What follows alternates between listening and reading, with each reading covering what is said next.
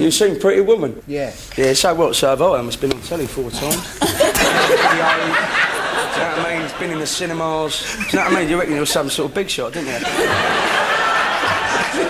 do you know what I mean? Can't, you can't come here and give me lip, do you know what I mean? This is my domain, this is my territory, do you know what I mean?